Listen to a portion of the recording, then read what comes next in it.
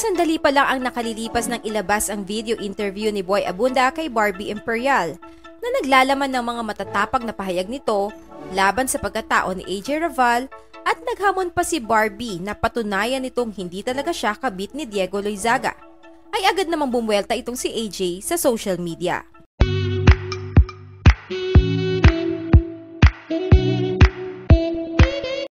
Narito ang restback ni AJ Raval sa pahayag ni Barbie Imperial na humahamon sa kanya na magsalita na at linawin ang kumakalat na balita nakabit siya ng boyfriend ni Barbie na si Diego.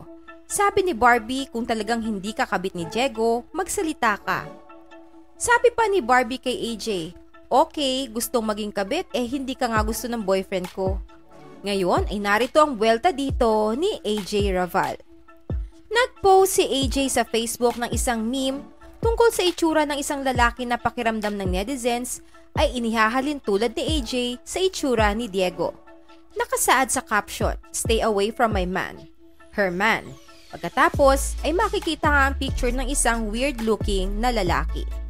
May mga naniniwala na ito ay sarcastic response ni AJ sa interview ni Barbie with Boy Abunda tungkol sa mga chismis na nag-uugnay sa kanyang boyfriend na si Diego kay AJ. Sa interview kasi ay iginigiit ni Barbie na walang gusto ang boyfriend niya kay AJ Raval. One more thing, Tito Boy. Um, yung about doon kay AJ Raval. For me kasi, di ba, if wala kang kinalaman or alam mo naman na hindi ka like kabet ni Diego, magsalita ka. So, parang for me, bakit parang gusto mo na nangyayari to lahat na nagka-think kayo ni Diego. Namin siya, sobrang binaby namin siya sa grupo namin.